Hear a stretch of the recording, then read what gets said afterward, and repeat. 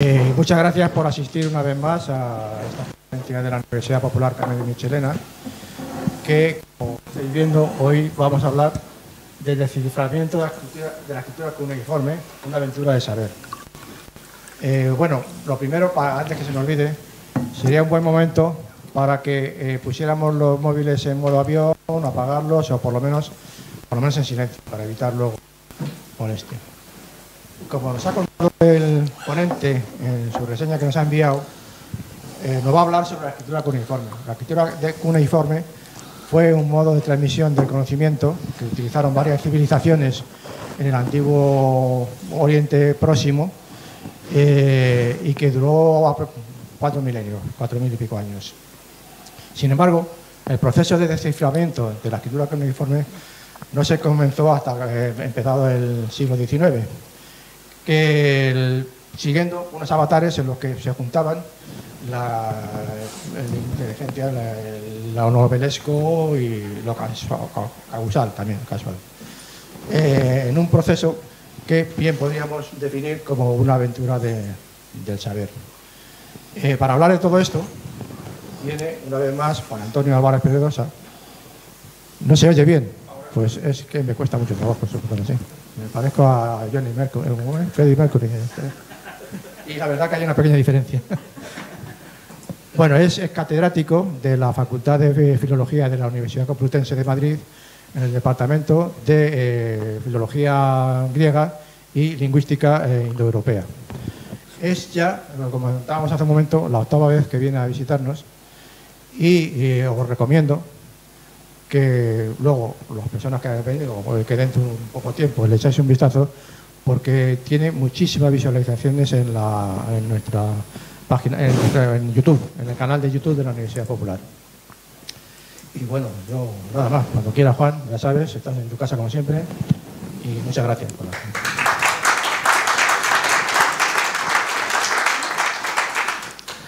Eh, muchas gracias por la presentación.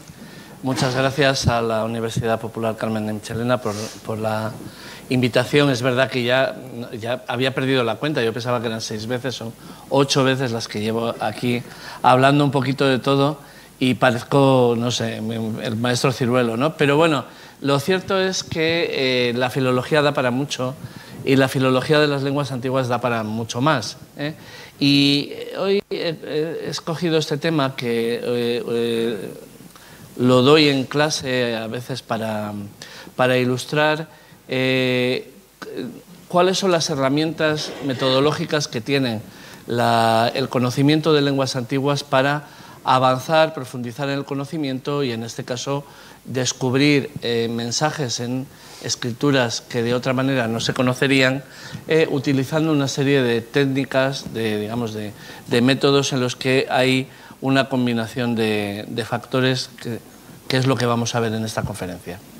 Bien, la escritura cuneiforme eh, eh, es un modelo de escritura, como ha dicho en la presentación, que se desarrolla y que se convierte en hegemónica como modelo de escritura en todo el Oriente Próximo. Eh, estamos hablando de Mesopotamia, pero no solo de Mesopotamia, sino también de la franja siro-palestina, de la península de Anatolia y de la meseta de Irán. ¿Eh? En todo este ámbito, bueno, y en el sur del Cáucaso, ¿eh? es decir, desde toda esta zona, todo lo que es el creciente fértil, el cuneiforme fue el sistema normal de escritura desde finales del cuarto milenio antes de Cristo hasta el siglo II después de Cristo. Es decir, hay que tener en cuenta que cuando los romanos estaban, digamos, en el auge del imperio, del imperio en, la cuenca del Mediterráneo, todavía en Babilonia, en los templos de Babilonia, se escribía en cuneiforme y se aprendía eh, un tipo de escritura que, como vamos a ver, es muy difícil y está pensada eh, no como un tipo de transmisión del conocimiento usual, como lo que nosotros entendemos que es la escritura, que es la manera de, que, de acercar eh,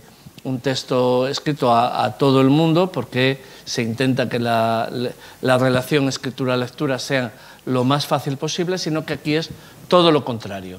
Aquí la relación escritura-lectura es lo más complicado posible para que ese, digamos, ese patrimonio de saber lo tenga un grupo muy pequeño de escribas que tienen el poder, porque tienen las herramientas de escritura y de lectura. Eh, son muchas las lenguas que se escriben en eh, cuneiforme en este larguísimo periodo de tiempo. ¿no? Aquí he puesto las más importantes, no son todas, pero las dos más importantes que eh, quiero que se fijen es el sumerio y el acadio, que son lenguas propias de la zona, el sumerio más bien del sur de Mesopotamia, el acadio más bien del norte de Mesopotamia, pero que se escriben desde como ven, el sumerio desde finales del cuarto milenio hasta el final de la escritura cuneiforme, hasta el siglo II después de Cristo, y el acadio comienza a escribirse en torno al 2400 antes de Cristo y eh, continúa hasta el final. Son lenguas que eh, los escribas de la época tenían que aprender prácticamente a la vez. No son lenguas que se parecen en absoluto. ¿eh? El sumerio es una lengua aislante, una lengua eh, con una dificultad bastante grande, y el acadio es una lengua semítica, una lengua eh, flexiva de la familia de las lenguas semíticas, etc. Y luego hay otras lenguas que, eh, digamos, cuando la zona comienza el periodo más glorioso de, su desarrollo cultural, que es en, la edad de bronce, el bronce tardío, eh, se apuntan, por así decirlo, al tipo de escritura cuneiforme, como el urrita, eh, que es una lengua también aislada, el hitita, que es una lengua indoeuropea, y ya la última de todas, eh, que la pongo ahí al final, el antiguo persa, que utiliza un modo de escritura cuneiforme simplificada, que comienza en el siglo VI a.C. y termina con la invasión de Alejandro en el siglo III antes de Cristo. ¿eh?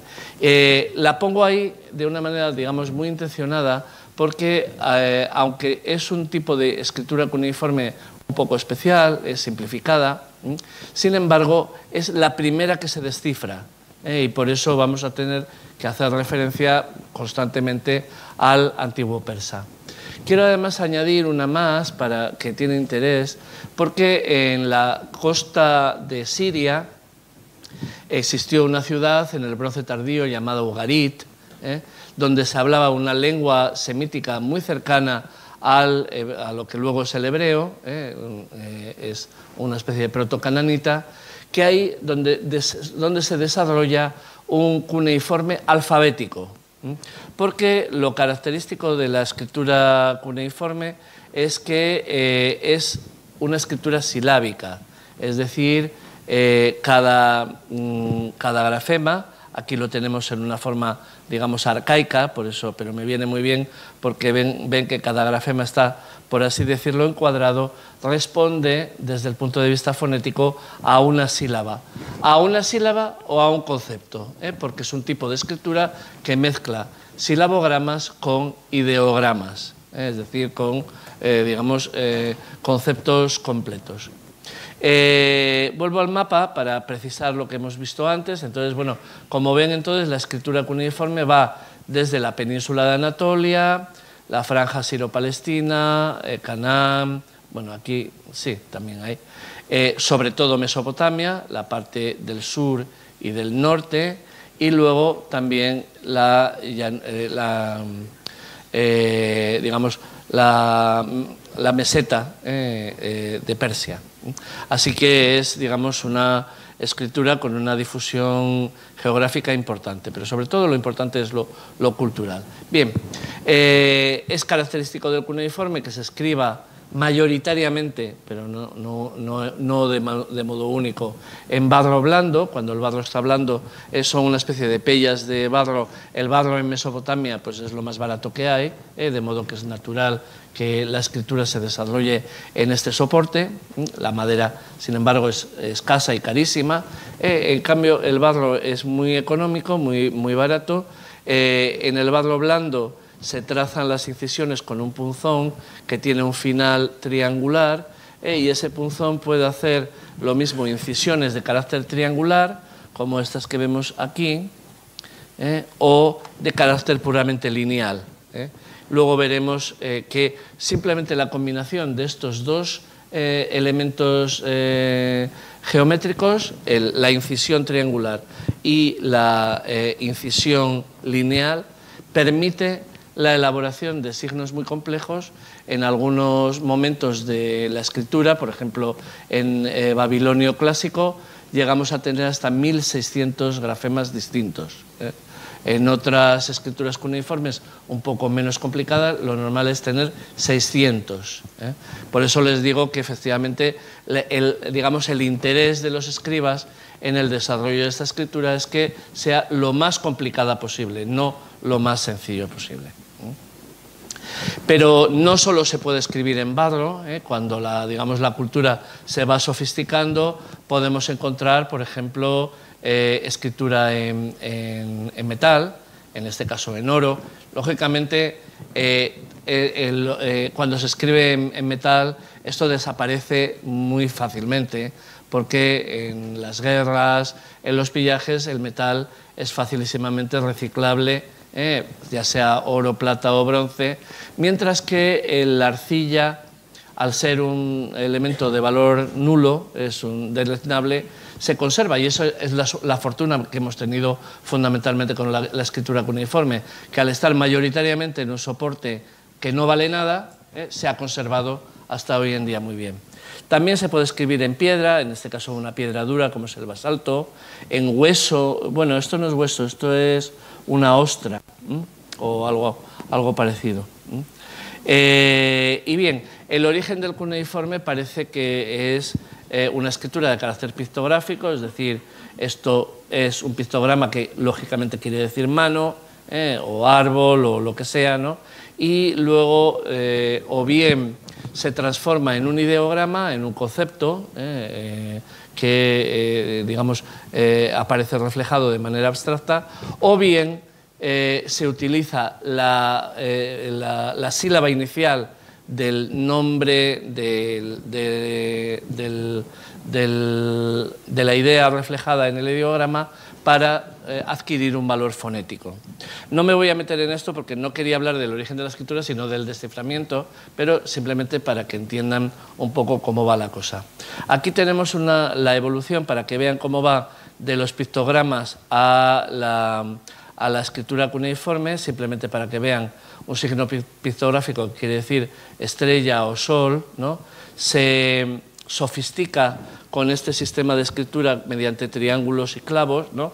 mediante cuñas y clavos, eh, eh, luego sufre una inversión, no en el 700, este, esto está copiado, ¿eh? es el 1700 o antes, sufre una inversión hacia la izquierda y ya tenemos el, digamos, el signo convencional eh, que se utiliza durante toda la historia del cuneiforme.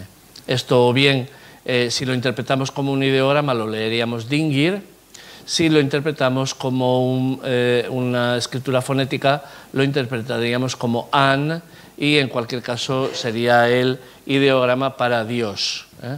O, por ejemplo, yo que sé, este, ¿no? Eh, el ideograma para un cuenco, más bien una masera, se sofistica, se estiliza mediante estas cuñas así, ¿eh?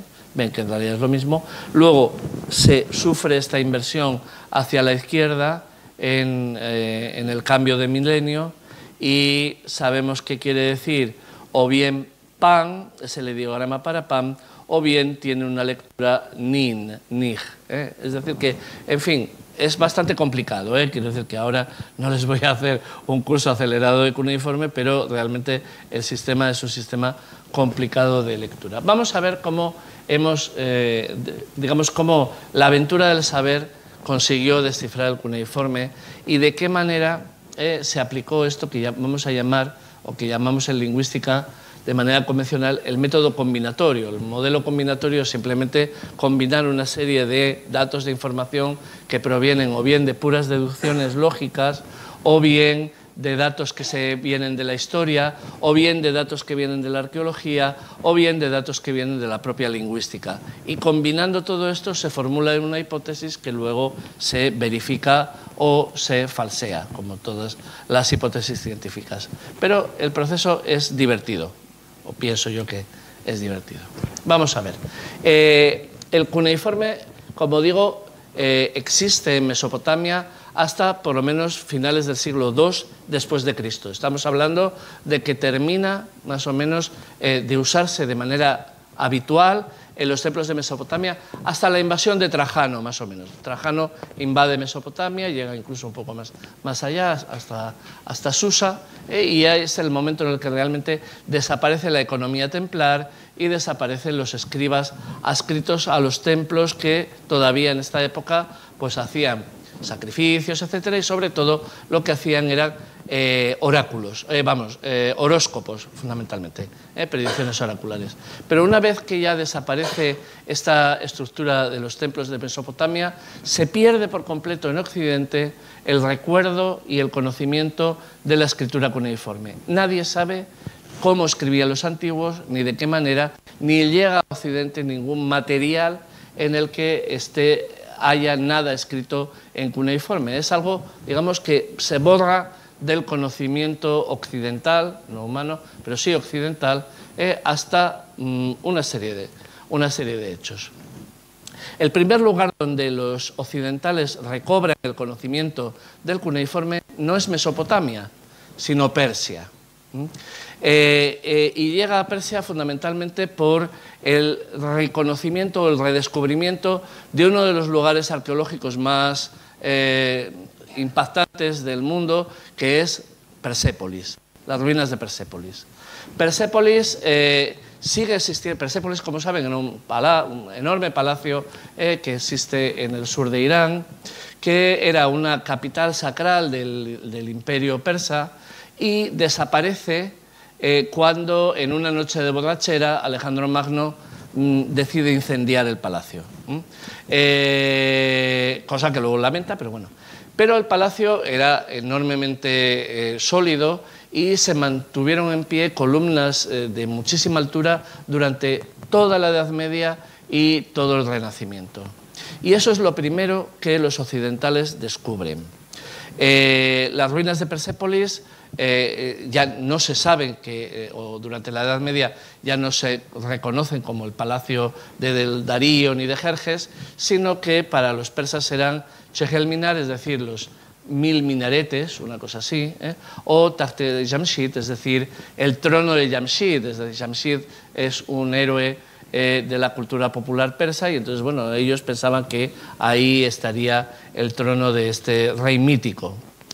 En 1616 eh, llega a Persépolis el primer occidental que identifica las ruinas como el Palacio de Persépolis. Es un español eh, que llega eh, como embajador del rey Felipe III en la época más gloriosa de la diplomacia española, llega a Irán para eh, establecer una misión diplomática que alíe al Shah Abbas, el gobernante de Persia en aquella época, con el rey Felipe III para hacer entre los dos una pinza contra el imperio otomano. Eh, desde el punto de vista geoestratégico estaba muy bien pensado y de hecho funcionó. ¿Eh?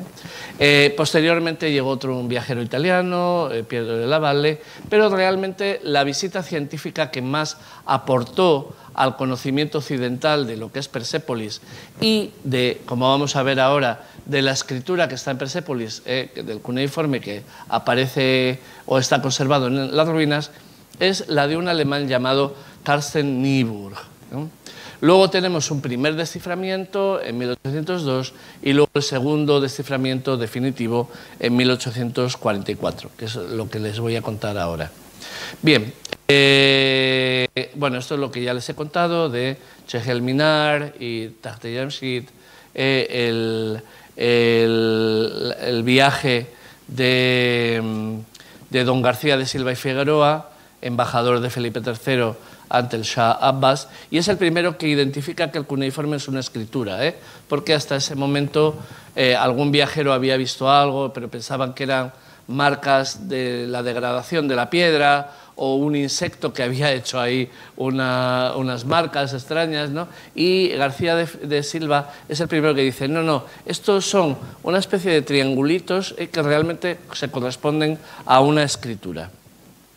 Pero como digo, el viaje científico que realmente aporta a Occidente el conocimiento mejor de Persépolis y de la escritura de Persépolis es el de Carsten Niebuhr, que lo tienen aquí vestido de oriental, que era como había que viajar por Oriente en la antigüedad, vestido de, local, porque si no, pues no, eh, uno, pues le mataban a uno. ¿no? Pero bueno, la cuestión es que eh, este Carsten Niebuhr eh, viaja comisionado por el rey de Dinamarca con una expedición científica compuesta por botánicos, geólogos, filólogos, un montón de gente. Niebuhr era ante todo un dibujante, un dibujante muy bueno. Fíjense eh, en eh, lo bien que dibuja, eh, esto es una foto real de, de, Persépolis y el dibujo de Niebuhr que realmente está muy bien. La expedición comienza en Egipto, luego sigue por Tierra Santa, luego se adentra en Persia y llega incluso hasta la India, pero todos los miembros de la expedición mueren por el camino de una manera o de otra y el único que se salva es Niebuhr. ¿eh? que es el que al final pues, eh, hace un libro muy gordo, donde, entre otras cosas, copia con muchísimo detalle todas las inscripciones en cuneiforme que él vio en las ruinas de Persépolis. Fíjense que la copia es muy, muy buena. ¿eh? Él era un, gran dibujante. en paralelo al viaje de Niburg, tenemos otro viaje que también es imprescindible para que entendamos eh, lo que pasa después, que es el viaje de Anquetil du Perron por la India y el redescubrimiento para Occidente de la religión zoroastriana. Anquetil du Perron era un eh, militar francés que eh, viajó a la India con la idea de hacer fortuna y se encontró con que la India estaba en medio de la Guerra de los Siete Años y él tuvo que andar viajando por la India y escondiéndose para que no le pasara nada y al final acabó recalando en una zona al norte de Bombay eh, que está habitada por eh, gente que conocemos con el nombre de Parsis, es decir, persas, eh, y que conservan una religión persa emigrada a la India en el siglo X, que es el zoroastrismo. esta gente le acogió muy bien, le enseñó su lengua, le regaló un montón de manuscritos y a la vuelta eh, a, París, él donó los manuscritos a la Biblioteca Real y comenzó la iranología occidental. Comenzó con el estudio básicamente de la lengua avéstica, que es la lengua donde están los textos sagrados de esta gente, de, esta, de, de estos zoroastrianos. La cuestión es que era una religión que no se conocía, pero que evidentemente remontaba a época muy, muy, eh, como mínimo, de la época de los emperadores persas y seguramente, muy seguramente anterior. Bien, eh, esto lo digo porque luego nos vendrá bien para entender el desciframiento del cuneiforme de Persépolis. Bien, el primer desciframiento del cuneiforme se realiza en 1802 en Alemania en la época de la ocupación napoleónica y lo lleva a cabo este señor que tienen en la imagen llamado eh, Georg Friedrich Grotefend, que era un profesor de eh, lo que en Alemania se llamaba y se sigue llamando gymnasium, eh, es decir, un instituto de enseñanza secundaria, pero de nivel alto, no de, no de capacitación profesional, sino no, fundamentalmente de, nivel científico, donde la base eh, de la enseñanza está fundamentada en el estudio del latín y del griego. Estaba en aquella época y durante mucho tiempo ha estado así todavía.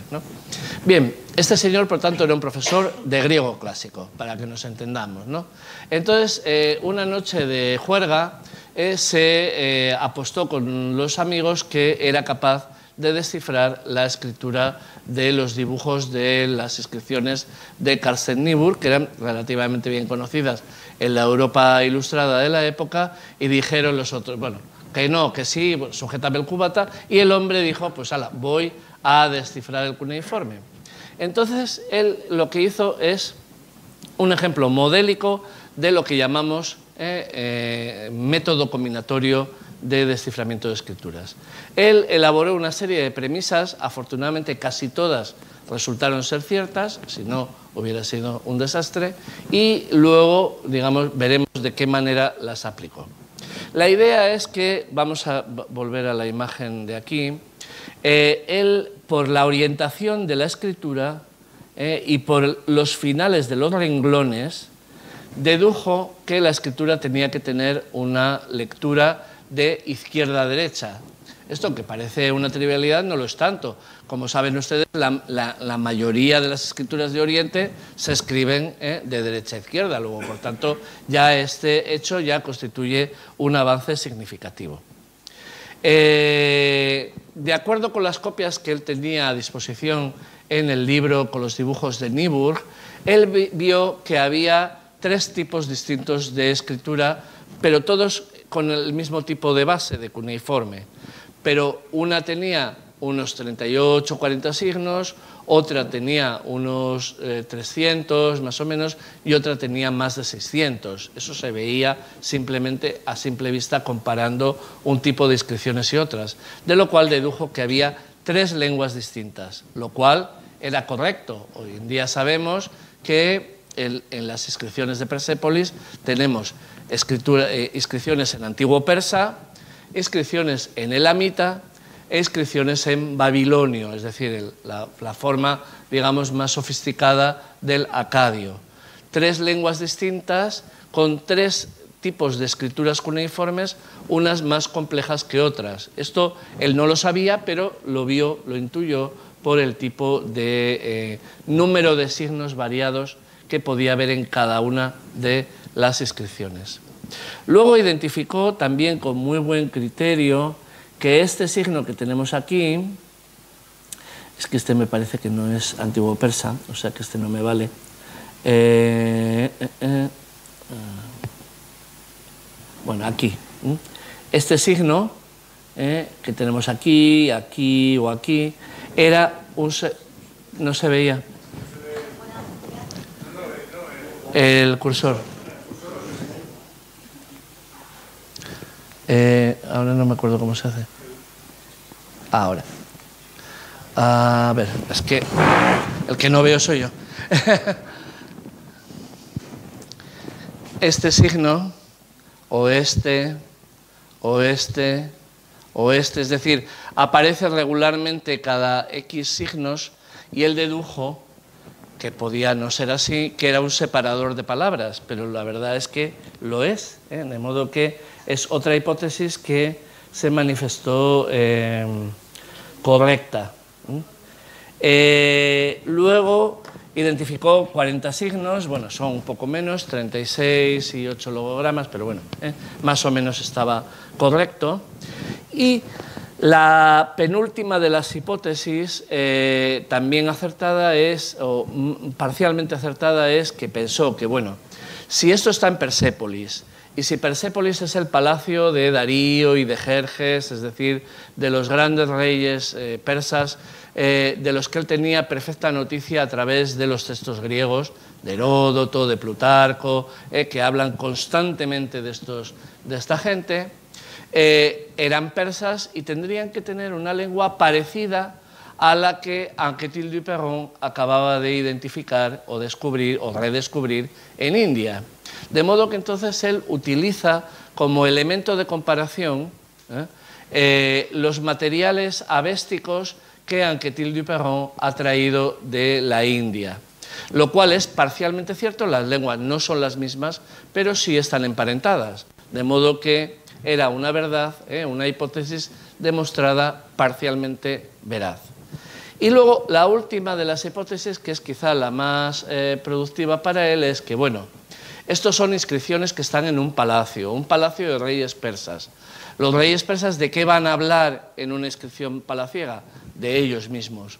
Luego, por tanto, él supone que eh, él toma, digamos, las inscripciones en el antiguo persa desecha las que están en el Amita y en Babilonio porque tienen demasiados signos, coge la que tiene menos signos, la que tiene 40, piensa que es persa y piensa que si es persa de un palacio persa, hablará de los reyes que vivieron en ese palacio. Como él tiene perfecta noticia de cuál es la línea, si primero reina Darío, luego Jerjes, luego Artajerjes primero, luego Darío primero, es decir, se sabe perfectamente la genealogía de los reyes persas a través de los textos griegos, él piensa, pues a lo mejor es posible que estas inscripciones contengan, como mínimo en la presentación, el nombre del rey, su titulatura, que los griegos nos dicen claramente que era gran rey, rey de reyes, eh, etcétera, y a lo mejor contienen la genealogía. Esto sí que realmente era un, eh, tirabuzón, digamos, con eh, vuelta lateral, porque no tenía por qué contener eso, esa introducción de titulatura, las inscripciones, pero lo cierto es que la contenían y eso fue lo que permitió leerle. Eh, como prueba de que aquello, eh, digamos, eh, podía ser así, utilizó estas, estas dos inscripciones del Palacio de Persépolis. Yo les pongo las fotografías de dónde están, fíjense que están en estos lugares un poco recónditos, ¿no? Esta es una esquina de una jamba y esta está un poco escondida aquí. Son solo en persa, normalmente están, como hemos visto, en tres lenguas. Y esta es la, transcripción que hace de ellas eh, Nibur, que evidentemente se subió a una escalera para copiarlas ahí. Eh, entonces, cuando él analiza estas dos inscripciones, él dice, bueno, ve secuencias de signos que se repiten. Eh, entendiendo, además, eh, no, perdamos de vista que él ha identificado ya el separador de palabras, que es lo que tenemos eh, en naranja. Entonces ve secuencias que se repiten en las dos inscripciones. Esto está también aquí. después de la primera palabra está esta secuencia en rojo, que es la misma que tenemos aquí y la misma que tenemos aquí. De modo que su idea es, vale, la primera palabra va a ser el nombre de un rey. Este es un rey X y este es un rey Y. Lo siguiente es la titulatura, gran rey. Vamos a suponer que esta gente eh, designe a sus reyes como los griegos nos decían que lo designaban. Y que a continuación viene la filiación, es decir, hijo de fulano, gran rey, lo cual en, el caso de esta inscripción estaría bastante bien eh, testimoniado porque aquí tenemos el mismo nombre que aparece aquí en cabeza y aquí volvemos a tener otra vez la eh, titulatura, gran rey. No sé si me van siguiendo bien. ¿Sí? Bien, pues esto, esto era lo difícil. Eh, claro, este es gran rey, pero no es hijo de un rey. De hecho, aquí aparece otro nombre propio, pero no se dice en absoluto que este sea rey.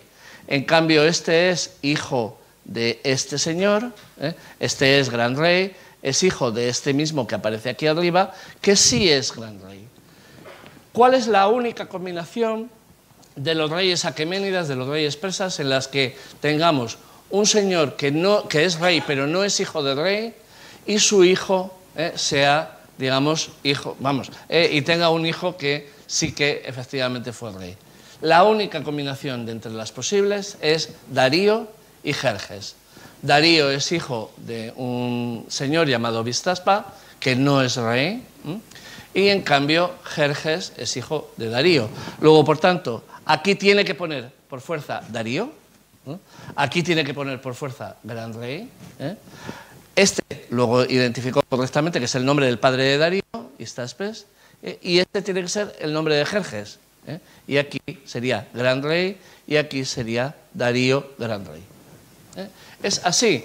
La cuestión es ver cómo los signos se ajustan a lo que los griegos transcriben de los nombres, que ahí es donde realmente el pobre falló, ¿eh? estrepitosamente, porque claro, lo que los griegos nos transmiten de los nombres de los reyes persas se parece mm, ¿eh? de aquella manera a lo que los persas realmente pronunciaban. Pero el hombre identifica varios signos no todos, ¿eh? pero esta es la propuesta que él hace, que está casi, casi en, digamos, en un 80% bien. ¿eh? No está entera bien, ¿eh? porque tiene algunos errores debidos fundamentalmente a la manera en la que los griegos transcriben los nombres de los persas, pero en, en, un, como digo, en un 80% es correcta. Y luego ya él había ganado la apuesta ya no se volvió a dedicar a esto nunca más. ¿eh? Se volvió a su instituto, era una, fue una persona famosa, pero quiero decir que no, no, se dedicó para nada a, esto. El segundo gran desciframiento ¿eh? es el de eh, Sir Henry Rawlinson. Este es el típico producto de la Gran Bretaña colonial. ¿no? Era explorador, militar, aventurero, filólogo, eh, conferenciante y luego terminó siendo ministro de Defensa del Imperio eh, al final de su vida. Les pongo fotos de joven porque luego ya de mayor, muy gordo y con todas eh, las medallas y el, uniforme, pero de jovenzuelo, pues bueno, tenía este aspecto, que es en realidad la época en la que él trabaja en, en otro lugar distinto de Persépolis. Eh, en un lugar llamado Bisutún, que es una especie de encrucijada de la carretera. Eh, los persas fueron los que inventaron la red de carreteras eh, en la antigüedad. una carretera que va desde Susa a Ecbátana, es decir, dos de las capitales del imperio persa, y hay una montaña sagrada ahí, una especie de pared de roca inmensa, muy alta, donde hay una inscripción monumental del rey Darío. Entonces él tuvo la presencia de ánimo de subirse dos veces en una escalera en el borde, eh, en el borde pequeñísimo de la, inscripción, para primero copiarlo a mano y luego, en la segunda vez que lo hizo, hacer una copia con papier maché, es decir, con, saben lo que es el papier maché, ¿no?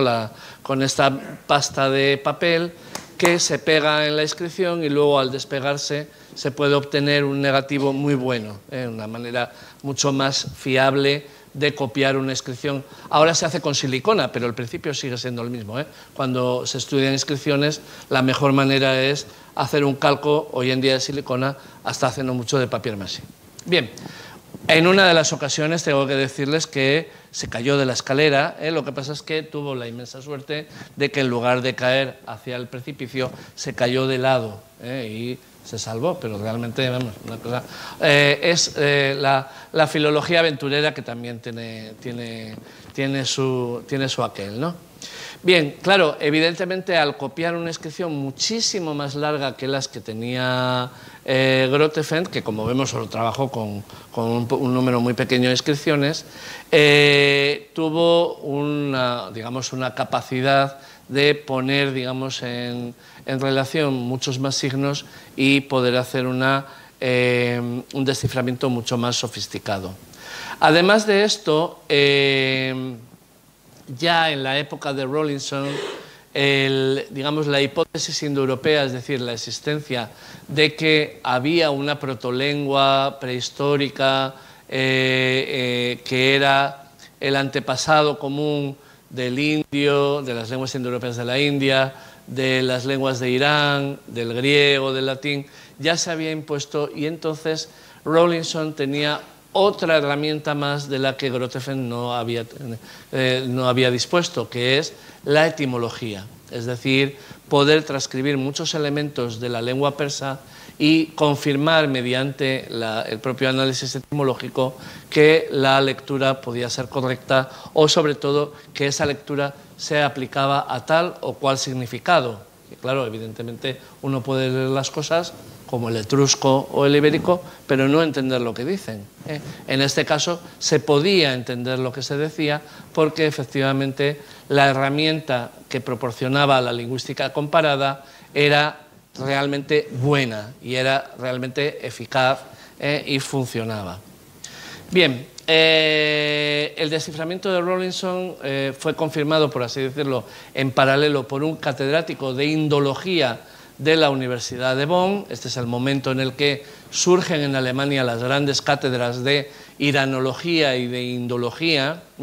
Y este señor, fundamentalmente basándose en el análisis etimológico de las propuestas de lectura de Rawlinson, eh, que perfeccionaban las que hizo en su momento Grotefend, confirmó que esas lecturas eran correctas, eh, tenían sentido y daban, daban un texto con sentido, que es lo que en definitiva importaba. claro, una de las lenguas que está en Persépolis y que está en la inscripción de Bisutun, como les he dicho, es el babilonio. Pero el babilonio hasta ese momento, eh, digamos, hasta la época de Rawlinson, nadie se atrevía a intentar descifrarlo porque eran muchísimos signos. ¿eh? Estamos hablando de 1.600 signos distintos, una barbaridad. ¿eh? Entonces, realmente todo empieza a cambiar cuando comienzan las grandes excavaciones, vamos a decir, precientíficas, por no decir salvajes, ¿eh? de eh, los europeos en Mesopotamia. La primera gran excavación que se hace en el norte de Mesopotamia es la de Nínive, a cargo de un aventurero llamado Layard, que realmente pues, excavaba a lo bruto, pico y pala, etc. Y esta es la razón por la que cuando ustedes viajan a Londres y van al British Museum, están todas las salas enormes de Nínive enteras, ¿eh? desplazadas desde Nínive hasta el British Museum. Evidentemente, esta es, digamos, el tipo de arqueología colonialista ¿eh? que hoy en día, lógicamente, ya, pues, no sé, afortunadamente no se hace. ¿no? Bien, tuvo la suerte, Layard, de que eh, hoy los arqueólogos no les gusta encontrar epigrafía, ¿eh? pero bueno, esto es otra cuestión de la que yo no, voy a, no me voy a meter con los colegas, pero bueno, ¿eh? pero en aquella época lo que realmente buscaban los arqueólogos eran o piezas grandes, como los grandes leones alados que tenemos en la imagen, ¿no? que son los que están en el British Museum, o epigrafía, es decir, textos escritos, porque eso era lo que realmente eh, el público, incluso el gran público, no solo el público científico, sino incluso diríamos el gran público, estaba demandando. En este momento, eh, eh Layard descubrió el archivo imperial de Nínive, del imperio asirio, es decir, ya época no tan antigua, es ya eh, época de edad de hierro, pero que se correspondía en el tipo de escritura más o menos con la escritura más compleja de las que identificó Grotefend y Rawlinson en, eh, en Persepolis y, eh, eh, y Rawlinson en Bisutun, es decir, lo que llamamos babilonio. En este caso es otra variante distinta del babilonio que llamamos asirio, pero corresponden con la misma lengua. Aquí, aunque realmente la eh, escritura era muy difícil por este número de variantes gráficas, ya se tenía todo el, digamos, el bagaje de eh, experiencia del desciframiento del antiguo persa. Ya había muchos elementos que se sabían, que se conocían gracias al antiguo persa, y esto ayudó mucho a impulsar y a detectar lo que había detrás de la escritura más compleja del acadio. Y sobre todo lo que ayudó más fue descubrir, que se descubrió muy rápido, que el acadio es una lengua semítica, es decir, una lengua, por tanto, emparentada con el hebreo, el árabe, que eran lenguas perfectísimamente conocidas en la Europa culta de aquella época y muy parecidas entre sí, ¿eh? porque las lenguas semíticas se parecen muchísimo entre sí. ¿Eh? Entonces, claro, esto, digamos, permitió eh, que el desciframiento del acadio, que parecía muy difícil, se hiciera muy rápido. Y la prueba de ello fue que, eh, como ven en la diapositiva, en la final, eh, esto es así muy de película, de película inglesa de sobremesa, pero que realmente existió, en la Royal Asiatic Society convocó un concurso para, con una pieza recién descubierta en excavación en excavación mesopotámica, en concreto un cilindro, eh, cilindro de, eh, ahora no me acuerdo de qué rey, eh, se hizo una copia que se mandó sellada a cada uno de los cuatro sabios que más sabían en este momento, es decir, Rawlinson, Inks, Oppert y Talbot, y se les pidió que en un plazo de tiempo razonable enviaran el desciframiento y la traducción del cilindro y cuando se abrieron las plicas en la Royal eh, Asiatic Society de Londres, se vio que las cuatro coincidían, coincidían en lo esencial, eh, tenían alguna variación pequeña y entonces ya se declaró oficialmente eh, descifrado el cuneiforme. Ya simplemente les quiero comentar que además de eso, esto tuvo como consecuencia la creación evidentemente de la siriología como disciplina, pero de una disciplina más añadida muy importante en la época, que eh, tiene que ver con un descubrimiento también fortuito que eh, hace en una tarde lluviosa de noviembre de, de 1872 un típico ratón de biblioteca que estaba trabajando en la British Library George Smith, además que con ese nombre el pobre, eh, y estaba leyendo, leyendo tablillas cuneiformes porque ya realmente el poder, eh, digamos, eh, descifrar, o sea, aunque les parezca muy difícil una escritura cuneiforme, incluso con mil caracteres uno termina pudiendo leerla con una cierta fluidez, sobre todo si el tipo de lengua se conoce bien, como es el caso del acadio. George Smith estaba leyendo tablillas cuneiformes y se encontró con esta, que tenemos en la pantalla, y en esta se cuenta como eh, un héroe eh, se ve enfrentado a, un diluvio universal y salva lo que queda de la humanidad construyendo un arca. Les suena a, todos ustedes, eh, es la parte del poema de Gilgamesh en la que el héroe efectivamente construye un arca para salvar a la humanidad, que evidentemente está en relación con la historia de Noé y del diluvio. Como, como esta inscripción se puede datar sin ninguna dificultad por el tipo de escritura en torno a 1800 a.C., era evidente que la historia del diluvio era preexistente a la redacción de la Biblia. Y esto dio lugar a lo que llamamos habitualmente como arqueología bíblica, que hoy en día ya no es un, término que ya no, no, gusta y que ya simplemente se asume como arqueología del próximo Oriente Antiguo. Bien, dos palabras simplemente para ver cómo se descifra otra escritura, otra también escritura cuneiforme, pero de otra lengua distinta, aparecida en otra zona periférica, en, el centro de Anatolia, que es el hitita. En 1907, como consecuencia de unos acuerdos entre el Imperio Otomano y el Imperio Alemán, que comportaban el intercambio de oficiales, eh, la construcción de un ferrocarril entre Constantinopla y Bagdad y la concesión a Alemania de yacimientos arqueológicos importantes, porque Alemania quería también su parte en la arqueología colonial, como Inglaterra y Francia, apareció en esta, en esta localidad de Boasqueuil un yacimiento descomunal con, eh, en las tres primeras excavaciones, eh, Hugo Winkler encontró en torno a unas 10.000 tablillas. 10.000 tablillas eh, escritas en cuneiforme de una que se podían, algunas se podían leer perfectamente porque estaban en acadio, pero la inmensa mayoría se podían leer, pero no se entendían. Eh, se podían leer porque ya la escritura cuneiforme ya llevaba eh, eh, medio siglo, digamos, de trayectoria científica, pero no se entendían.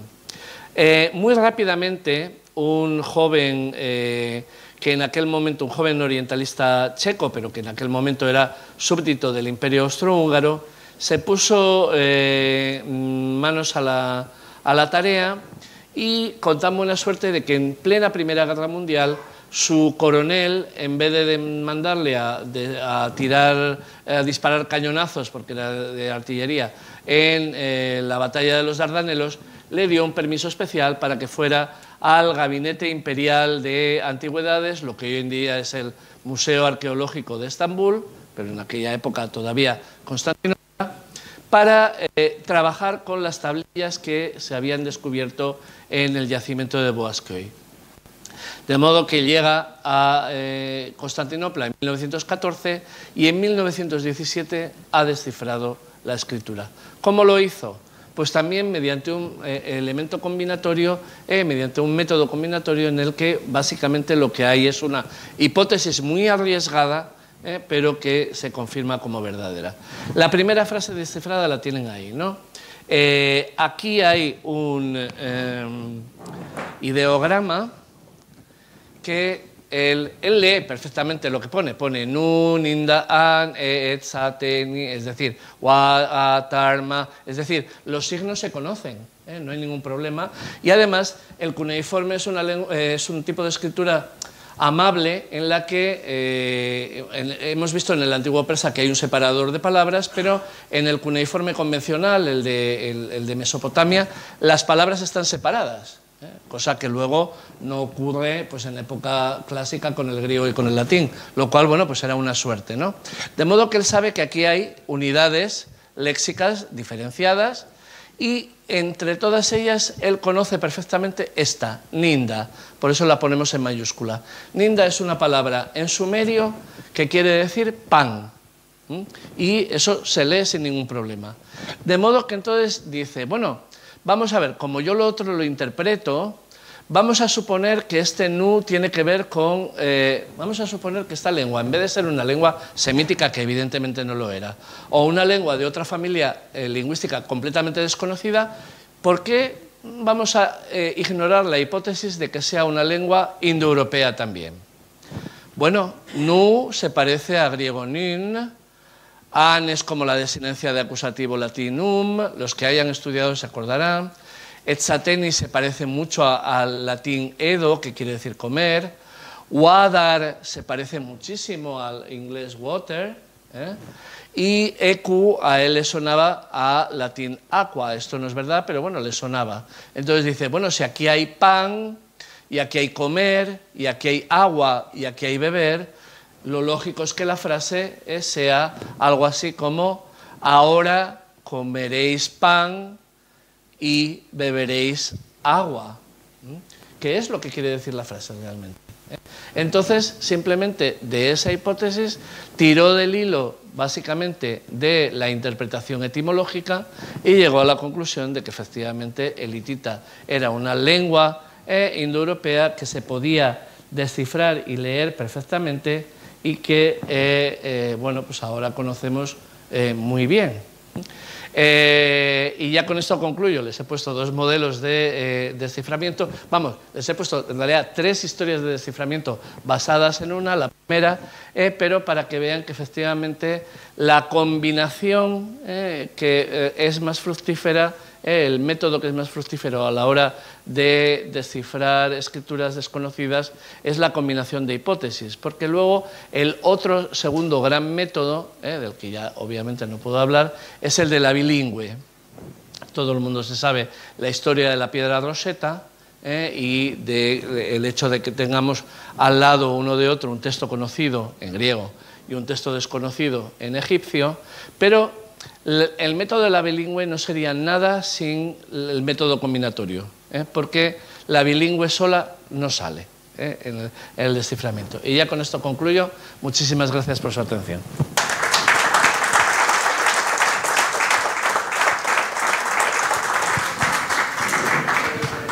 Muchas gracias, Juan. Si tenéis alguna duda, alguna pregunta, alguna opinión que, que decir, nada más que levantáis la mano os cedo el micrófono. Parece ser que o hemos entendido todo o no hemos entendido nada. Una de dos. lo importante es que lo hayan entendido, porque es muy, muy técnico. Yo que estoy convencido que sí. Desde luego la explicación no ha podido ser mejor. Muchísimas gracias, Juan. Sí. Sí, en un momento ha hecho referencia a la escritura ibérica. Mm. Y no sé si se ha llegado a descifrar. No, todavía no. Eh, eh, seguimos como estábamos. Es decir, se lee pero no se entiende. Se entienden los contextos muy pequeños precisamente por un modelo combinatorio, es decir, si lo que tenemos es una inscripción sepulcral, lo lógico es que aquí ponga aquí yace fulanito, ¿eh? o en una moneda, esta es la moneda de los de Tudela. ¿eh? Eh, ese tipo de cosas se leen sin problema, pero las tiradas largas todavía seguimos sin, sin descifrar. Eh, ha aparecido recientemente, creo, creo que, mm, mm, pero yo no soy especialista en, lenguas de, de, España antigua, ¿eh? Eh, una inscripción que es algo parecido a, una bilingüe, pero no, no, se lo puedo confirmar. Aparecen muchas. Lo bueno, lo bueno del ibérico es que el material es abundantísimo. miles y miles de inscripciones.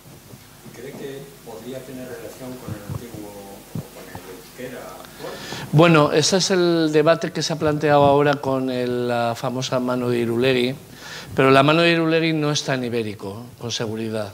Está en una lengua eh, que seguramente se hablaba en la zona de la cuenca alta del Ebro y que se correspondería seguramente con eh, eh, los estudiosos Gorrochategui le llama vascónico, es decir, no el vasco, sino algo así como un protovasco o algo así. Pero el, problema de la relación etimológica entre el vascónico y el ibérico sigue siendo un, un debate, yo creo que o sea, Schulten, que fue el primer gran editor de las inscripciones eh, mm, prerromanas de Hispania, estaba convencido de que el ibérico era el vasco. ¿eh? Pero yo creo que, no, que más que alguna prueba circunstancial, como el hecho de que haya gentilicios en Arra, ¿eh? del tipo Donostiarra, esos también los hay en ibérico, pero fuera de eso, pues no, no, no estamos seguros. Bueno, eh, según has comentado, eh, la cuneiforme fue el sistema de escritura predominante durante un montón de años en, el creciente fértil. Pero ¿hubo algún otro sistema de escritura coetáneo o en algún momento, por ejemplo, Litita se escribió con otro sistema eh, de escritura o el acadio? O, siempre fue...? No, el acadio nunca se escribió nada más que con cuneiforme, pero aquí en, Anatolia, en torno al 1500 a.C., aparece un tipo de escritura jeroglífica que no, eh, no, no tiene por qué tener un origen directamente inspirado en el egipcio, pero se parece algo. ¿eh? Es decir, es un modelo de escritura jeroglífica, eh, no vamos a decir igual, pero con, digamos, con las mismas líneas eh, rectrices de, escritura.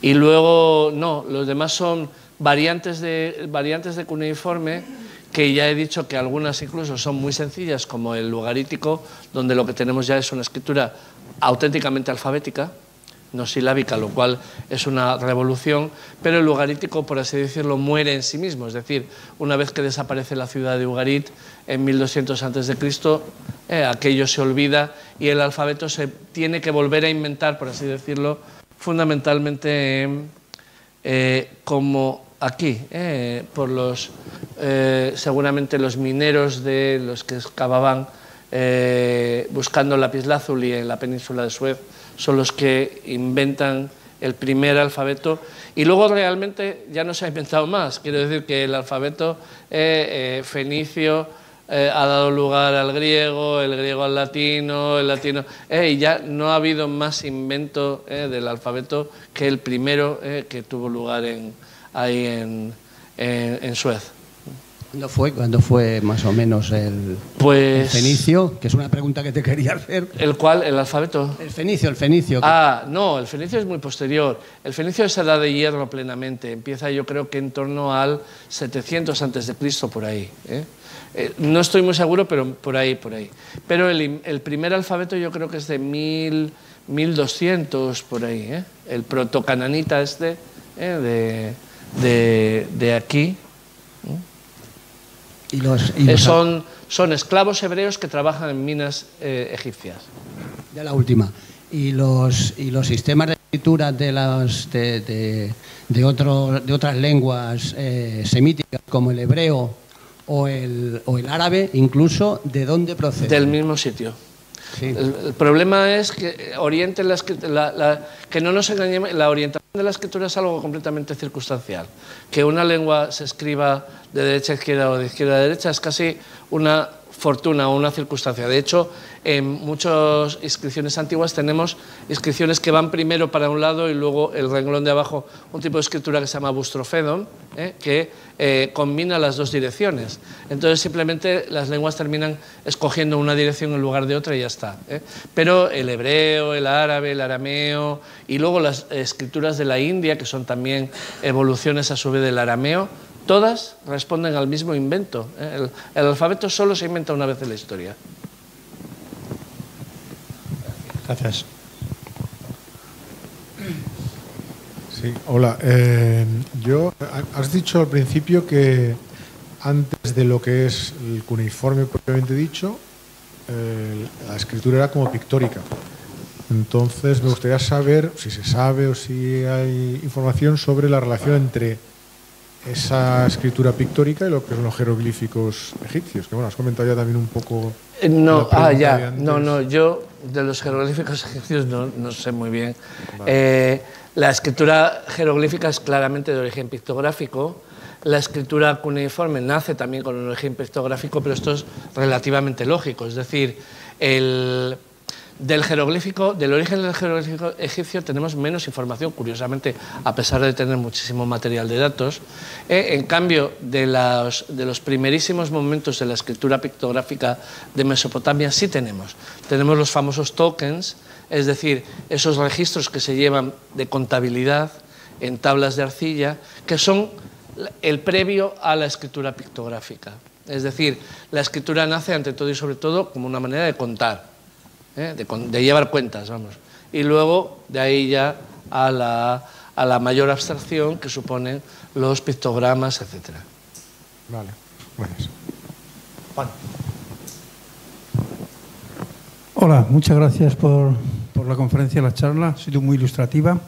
Y aunque has contestado ya a más de la mitad de la, de la cuestión que te iba a plantear, pero sí me gustaría saber eh, sobre todo relacionándome con la Biblia, si es posible hacer una eh, evolución diacrónica de lo que es desde, desde la escritura coniforme hasta el arameo.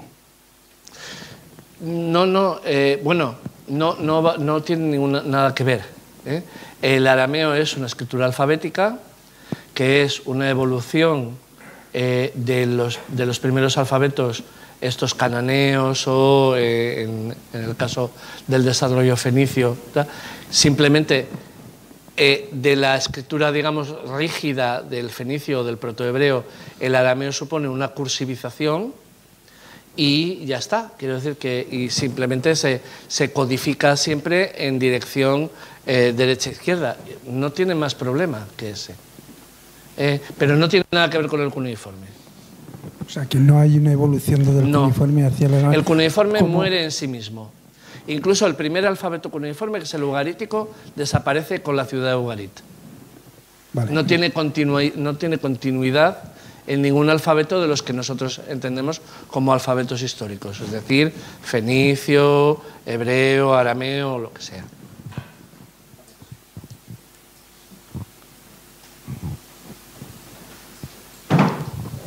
Hola, buenas tardes. Eh, he llegado tarde, pero tenía una pregunta importante. El sumerio es una lengua especial, extraña, y no tenía y no tiene seguramente, o lo mejor la evolución de los estudios llevan a otro derrotero, no tiene relación con las lenguas indoeuropeas que le rodeaban. ¿Y cómo se produce la transición desde sumerio al acadio, por ejemplo, y otras lenguas? Supongo que sería por elementos pictográficos. No, no, no. Vamos a ver, no confundamos escritura con, lengua. ¿eh? Escritura es una cosa y lengua es otra. ¿eh? Y el cuneiforme sirve lo mismo para escribir sumerio, que acadio, que hitita, y cada una es de una, de una familia lingüística distinta. El sumerio es una lengua de una familia aislada que se convierte en lengua de cultura de Mesopotamia y como lengua de cultura de Mesopotamia se mantiene hasta el siglo II después de Cristo. ¿eh? Los escribas aprenden sumerio lo mismo en el 4000 a.C. que en el siglo II. Es decir, para ellos es una lengua de cultura. Evoluciona, claro que sí, pero ya desde el siglo, por lo menos desde 2000 a.C., el sumerio ya hacía mucho tiempo que es una lengua muerta y se estudia como una lengua muerta. ¿eh? No se habla. ¿eh? Entonces, al no hablarse no evoluciona y el hecho de que esté rodeada de lenguas acadias, de lenguas semíticas o de lenguas indoeuropeas no están ahí, ¿eh? lenguas semíticas, no, no tiene nada que ver. Es una lengua que en su momento tuvo un prestigio eh, cultural eh, y lingüístico grande y se convirtió en la lengua de cultura de Mesopotamia. Sí, yo quería preguntar lo siguiente. yo desconocía completamente el sistema de, traducción, bueno, de traducción, de poder entender lo que está escrito cuando no tienes unas referencias muy completas, más allá de, por ejemplo, bueno, el caso de la piedra roseta, evidentemente, es completamente distinto a los sistemas combinatorios de los cuales yo no tenía absolutamente ni idea. ¿no?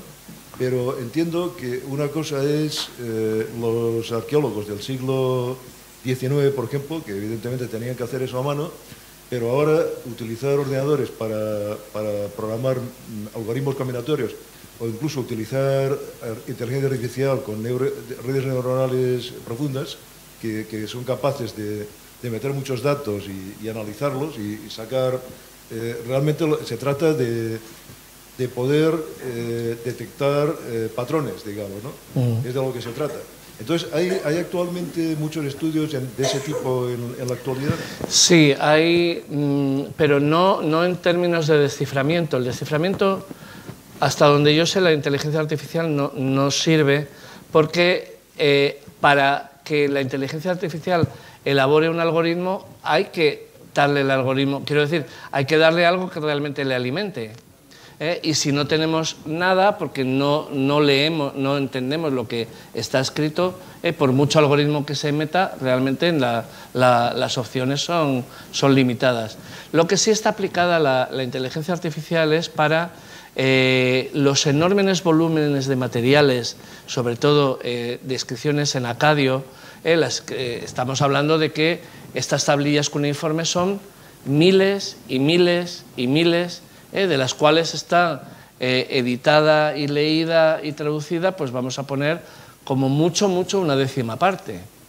Claro, hay grandes cantidades de textos que no no están abordados, ¿por qué? Porque son básicamente contabilidad, facturas, albarenes, cosas que, bueno, son interesantes porque son antiguas, pero no, no tienen, digamos, el, el, nivel de importancia de un texto literario. Y ahí sí que se está aplicando la inteligencia artificial, porque ahí sí que es muy fácil meter los algoritmos textuales de una lengua bien conocida como es el acadio y que la inteligencia artificial sí que pueda leer y traducir grandes cantidades de texto que de otra manera pues no tendríamos tiempo ni interés siquiera para hacerlo. Gracias.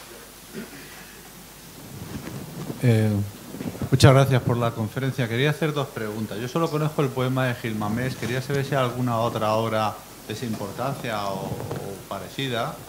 Y me gustaría que pudiera darme alguna referencia bibliográfica asequible sobre esta cultura. Bueno, mire, hablando de, eso, evidentemente el poema de Gilgamesh es muy, muy importante. Es un elemento, eh, digamos, literario eh, importantísimo dentro de la antigüedad, no solo por lo que cuenta, esta, digamos, este, esta, esta, primera crisis de angustia del hombre ante la muerte y todo esto, sino eh, por las influencias posteriores que sabemos que tuvo. Pero luego, mire, hay un libro de un eh, orientalista francés, se llama Jean Bottero, o sea, escrito Botero, eh, pero es Botero, eh, que se llama Cuando los dioses fueron hombres o algo así.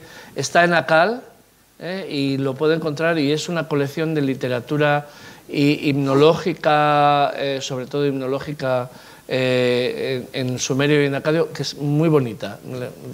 Esa se la recomiendo. Aquí hay uno, ya me parece que lleva levantando la mano no, sé cuánto tiempo. Gracias, Eloy. Muy interesante la charla, realmente me he divertido un montón.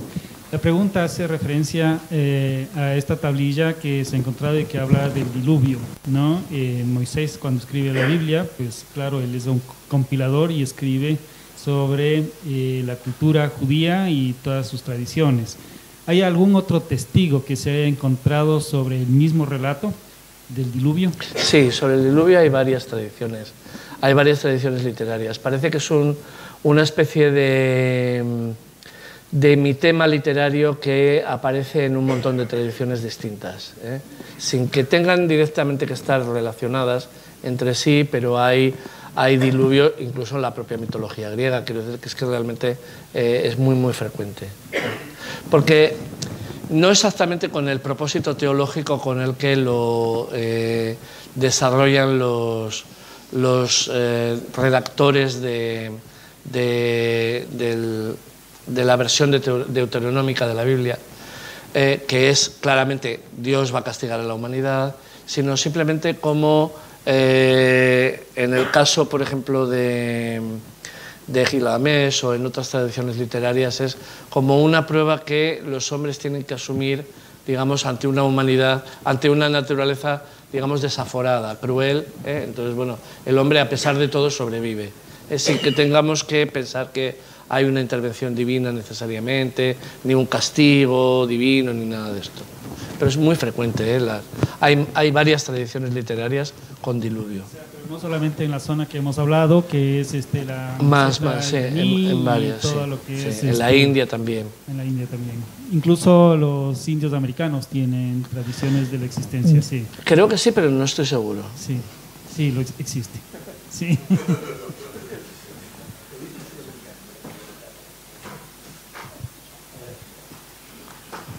Muchas gracias por la charla, ha sido muy Quería consultarle mm, algo en relación con las lenguas minoicas.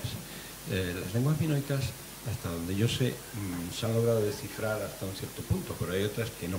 ¿no? ¿Hasta dónde se ha llegado en el desciframiento de las lenguas minoicas?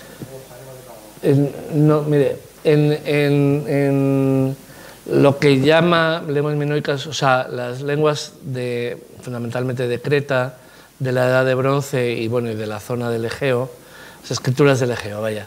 Eh, fundamentalmente hay dos, dos, tipos de escritura, eh, eh, la lineal A, que sigue sin estar descifrada, y la lineal B, que es griego.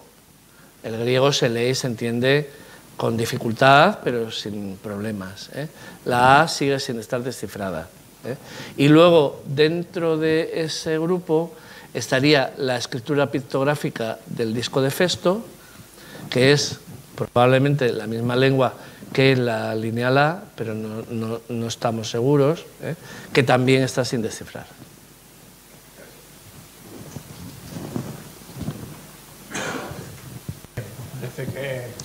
Muchas gracias, Juan. Hemos quedado encantados. Yo quería comentaros que dentro de unos días seguramente lo subiremos a, a la web y podéis consultar con detalle tanto la conferencia como la presentación. Y el jueves que viene hablaremos sobre ordenadores cuánticos, vendrá el doctor García Ripoll y bueno, al que le interese, pues aquí estamos. Muchísimas gracias a todos.